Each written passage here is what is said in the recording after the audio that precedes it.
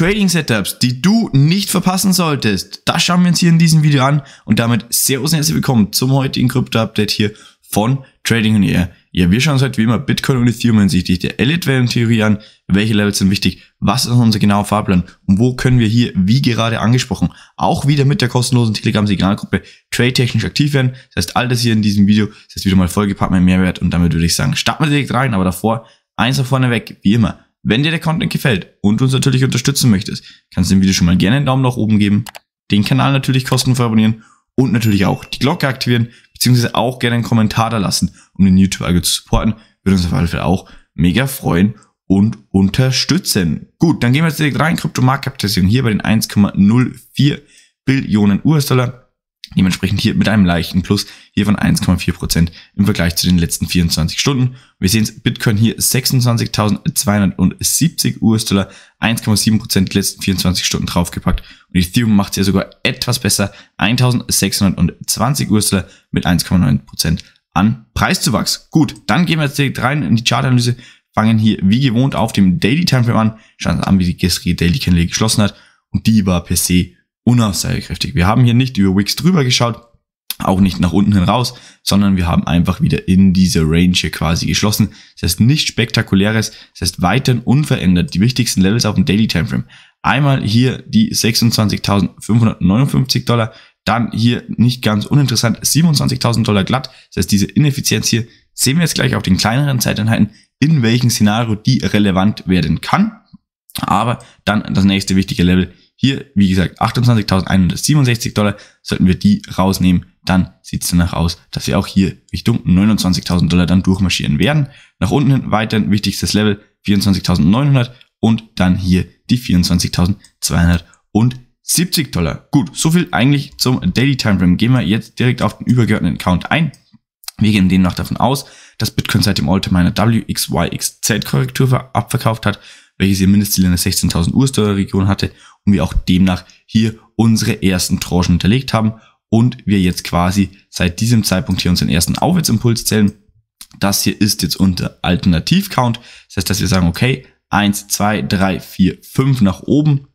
Dann würden wir, wenn wir auf dem 4-Stunden-Time runtergehen, hier jetzt eine Welle A nach unten erwarten, eine Welle B nach oben, um in der Welle C hier nochmal abzuverkaufen, Richtung 21.700 Dollar, Richtung 18.900 Dollar. Das ist dann so der Bereich, den wir da jetzt erstmal anpeilen. Wie gesagt, das hier unser Alternativszenario, welches wir eher an, oder was heißt, welches wir eher anpeilen, welches bisschen relevanter ist, wenn wir sagen, okay, wir bekommen hier unseren Impuls nach unten, denn im anderen Szenario wäre es hier eine A nach unten, die ist fünfteilig, hier wäre es eine C nach unten, die ist fünfteilig. Das heißt, sollten wir nur den Fünfteiler sehen und im Anschluss eine impulsive Reaktion, dann wäre das selbstverständlich unser primärer Account aber auch das sogar nicht unser primäres Szenario. Das heißt, in diesem Fall würden wir noch ein Tief hier in dieser Region zwischen 23,8 und den 21,8 quasi erwarten. Aber wie gesagt, auch das nicht unser primäres Szenario. Jetzt kommen wir zu unserem primären Szenario und das ist übergeordnet weiterhin das WXYXZ. Das heißt, wir haben weiterhin hier primär unseren Impuls hier bis zu diesem Topic gefunden.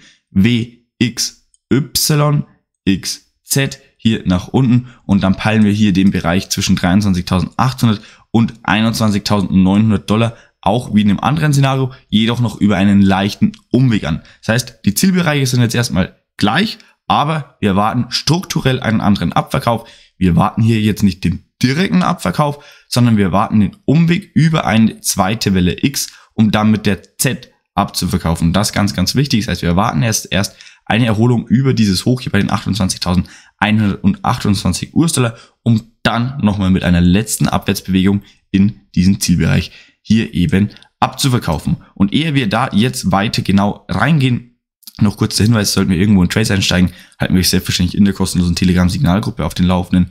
So sehen hier beispielsweise die Signale aus.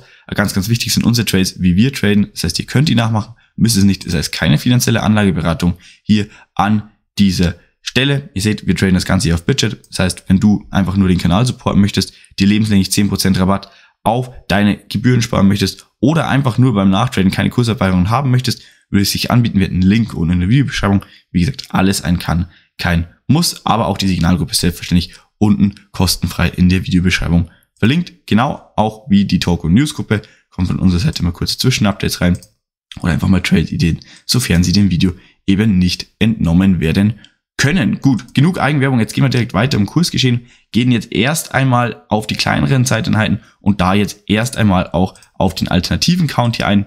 Das heißt, sollten wir wirklich den Impuls hier nach unten sehen, wovon wir primär nicht ausgehen, dann würde sich dieses Szenario hier ja eben bewahrheiten. Was wir aber jetzt schon sehen, dieser Impuls ist hier höchstwahrscheinlich abgeschlossen. Das heißt, das ist für uns definitiv die schönere Zählweise, diesen Impuls hier als abgeschlossen zu werten. Und dann würden wir sehen, okay, wir sind hier schon fast bis zum Top raufgekommen und wir hätten dann hier ein One-Two, was erstens schon mal nicht schön zu zählen wäre in der Substruktur und zweitens diese zwei sehr, sehr hoch Retraces.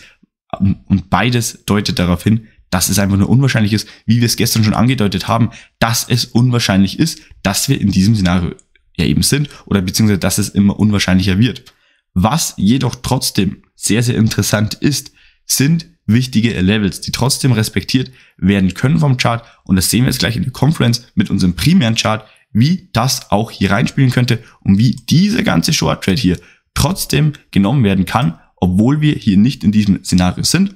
Denn wir sehen hier wichtige Widerstandsmarke 26.730 und dann hier nächste wichtige Widerstandsmarke glatt die 27.000 US-Dollar. Das heißt, das einmal merken, das hier wird jetzt dann noch wichtig, wenn wir auf unseren primären Subcount hier eingehen. Dieser ist, wie gesagt, hier weiter zum gestrigen Video hier unverändert, dass wir sagen, okay, WXYXZ, wie gerade angesprochen. Das heißt, auch hier Y gefunden, dreiteilige A, dreiteilige überschießende B, jetzt hier in unserer Welle C hier Richtung 28.400 bis 29.400 Dollar primär hochzukommen, kann theoretisch noch etwas weiter sich ausdehnen, aber das ist jetzt Stand jetzt erst einmal der primäre Bereich. Klar müssen wir uns noch die Substruktur anschauen, um den Bereich dann oben auch nochmal konkretisieren zu können. Ihr seht hier unten schon einen Trade und da gehen wir jetzt dann nochmal genauer drauf ein. Das heißt, hier, wie im gestrigen Video schon angesprochen, viele Überlappungen, was für uns eher korrektiv stimmt. Und das bewahrheitet sich, denn wir sehen auch hier, ja, korrektives Abwärtsmovement. Das heißt, wir gehen nicht davon aus, dass diese Welle 2 hier drin ist und dass das schon Teil der 3 ist.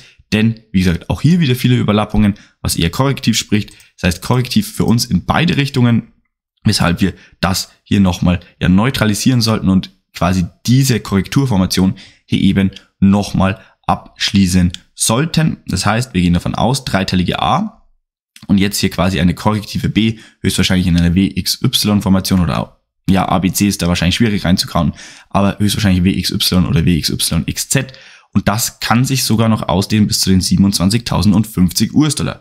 Welche Marke war vorher wichtig? 27.050 US-Dollar. Welche Marke war vorher noch wichtig? 26.730 US-Dollar. Hier die Marke 26.750 US-Dollar. Das heißt, wenn wir hier hochkommen sollten, dann gehen wir davon aus, dass es sich hier trotzdem um eine Welle B handelt, dass wir um eine überschießende B haben und dann kann man hier höchstwahrscheinlich trotzdem hier den Short Trade eingehen, hier ein, ja, den Entry quasi, hier dann irgendwo den SL hinlegen und dann das Ding versuchen, hier nochmal runter Richtung eben den 25.700 US-Dollar zu traden, welchen Bereich wir eben, ja, Stand jetzt weiterhin erwarten. Jedoch muss man auch sagen, okay, dieser Move sieht hier erstmal impulsiv aus. Sollten wir jetzt hier korrektiv hochkommen, das heißt auch hier in der Substruktur wieder viele Überlappungen, sieht es nach aus, höchstes, höchstwahrscheinlich erstes 1-2 in diese C, dann gibt es eine 3, 4 und 5 und je nachdem, ja, wie diese interne Struktur ausschaut, können wir dann sagen, okay, wird eher das 0,5 Fibonacci Level bei den 25.700 Dollar interessant oder das ja, Golden Pocket hier bei den 25.500 bis 25.600 Dollar. Und je nachdem werden wir hier diesen Trade noch leicht anpassen, aber das ist schon mal die Grundidee und dann gehen wir weiter davon aus, dass wir hier Richtung 28.500 US-Dollar dann erst einmal marschieren werden, um dann auch hier quasi den übergeordneten Fahrplan dann zu vervollständigen. Gut, der Fahrplan zu Bitcoin sollte klar sein. Gehen wir kurz noch rüber zu Ethereum. Auch hier kurz auf den übergeordneten Timeframe raus für die Leute, die neu auf unserem Kanal sind. Demnach besteht hier die Möglichkeit eines Doppel-One-Twos. Ja, dass der Boden quasi hier gefunden ist. 1, 2 in Rot, 1, 2 in Orange. Aber für unseren Geschmack etwas zu bullish und auch aufgrund der positiven Korrelation zu Bitcoin gehen wir auch hier davon aus, WXYXZ mit einer Truncation in der Welle Z, um dann hier mit einer 1 2. Das heißt, ein One-Two hier drauf zu starten. Da sehen wir den primären Supportbereich nochmal für diese Welle 2. 1400 bis 1350 Dollar Stand jetzt. Das heißt, auch hier gehen wir davon aus, dass wir nochmal ein Tief eben machen werden. Hier, auch hier wieder zwei Möglichkeiten in der Substruktur. Hier 1, 2, 3, 4, 5, beziehungsweise in einer A, B, C-Formation nach unten, sieht unseres Erachtens auch eher ja unwahrscheinlich aus. Wieso, weshalb, warum? Auch hier der Move von unten nach oben erstmal impulsiv, nicht korrektiv, was wir hier erwarten würden. Und hier sehen wir es auch hier. Das hier müsste ein One-Two sein. Wir können auch nochmal ganz, ganz kurz hier runtergehen. Genau, das hier müsste ein One-Two sein. Diese Welle 2 auch schon untypisch hoch retraced, um dann hier runterzubrechen. Aber der Vollständigkeit halber sollten wir wirklich runterbrechen. Nächste Haltestelle 1428 US-Dollar. Wie gesagt, aber nicht unser primäres Szenario. Primäres Szenario auch hier WXY, XZ nach unten, analog zu Bitcoin. auch hier gehen wir davon aus, ABC jetzt erst einmal eine Erholung, ehe wir dann nochmal ein tieferes Tief hier unter die 1460 Dollar erwarten. Und auch hier weiterhin unverändert 1, 2, 3, 4, 5 nach oben. Gestern waren wir hier in dieser Phase, haben wir gesagt, okay, hier höchstwahrscheinlich irgendwie ein Triangle rein und dann nochmal ein Tief, haben wir gesehen, Tief geholt und dann sehen wir jetzt hier erst einmal die Gegenbewegung, die auch wieder viele Überlappungen hat. Das heißt, hier gehen wir auch davon aus, dass es eher korrektiv ist, dass es sich hier noch um eine überschießende B handelt. Das heißt, dass wir hier noch einmal quasi hier runter müssen, um ja in dem Bereich 1577 bis 1563 Dollar aktuell primär eben dann einzutauchen. Wie genau der Bereich dann ist, welches Level da relevanter wird, sieht man auch hier dann an der internen Substruktur. Das heißt, auch hier würden wir jetzt erstmal einen Impuls aus diesem orangen Trendwendebereich hier runter nochmal erwarten, ehe wir dann die große Trendwende Richtung 1740 US-Dollar erwarten würden. Gut, das soll es gewesen sein. Der Fahrplan zu Bitcoin und Ethereum sollte klar sein. Sowohl Short Trade als auch Long Trade Möglichkeiten primär bei Bitcoin wurden aufgezeigt. damit bedanken wir uns schon mal über jegliche Form von Support. Wir sehen uns später gegebenenfalls auf Telegram wieder. Ansonsten morgen früh zum Update und damit Trading und erst raus. Macht's gut. Ciao, ciao.